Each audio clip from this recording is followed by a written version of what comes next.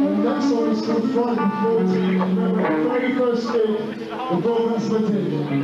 This is our best musical number, everybody. Since I was singing on it, it's on the